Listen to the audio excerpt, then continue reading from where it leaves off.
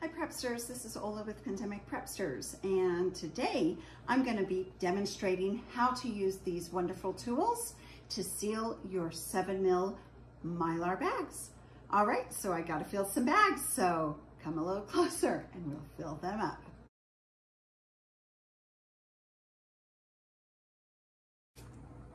Okay, so now next we're going to be doing just the hair straightener method, flat iron, uh, whichever way you want to call it. I'm going to add an absorber to two of them.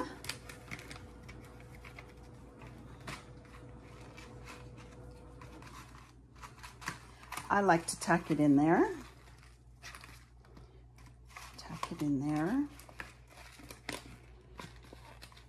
Now these are the pint seven mil flat um, Mylar bags. I got those at Pack Fresh USA.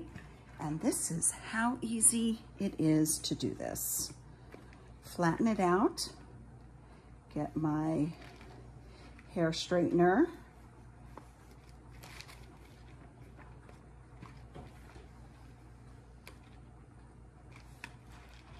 And I always like to double check the back side, make sure it's somewhat flat. That's a nice, good, solid seam. Now the other way you can do this is just to close it and open it. Flip it to the other side. But now that's really hot, so this is not my favorite way to do it. But I wanna show you both ways and close it like that. And there you go. That is nice and sealed. You don't need to over seal these. All right, so that's the, the hair straightener flat iron method.